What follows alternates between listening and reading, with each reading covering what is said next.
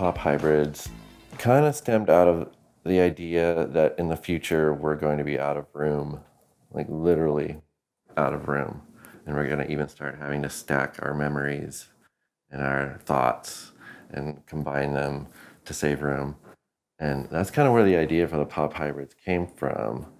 Initially, I would kind of come up with a design on the computer and then transfer that onto a canvas and paint it.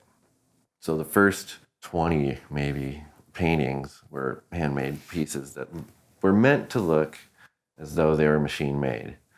I coated them with a resin that I had just discovered at the time, this beautiful glossy resin that looked like glass. And that really kind of sealed the deal to making it look like it was a product. And it just occurred to me that, well, everybody thinks these are machine made anyway. What if I just turned this into a series where they were limited edition prints? I could, you know, make these just as beautiful as they are as paintings, maybe even more so.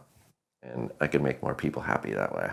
So it just sort of evolved into a purely digital process.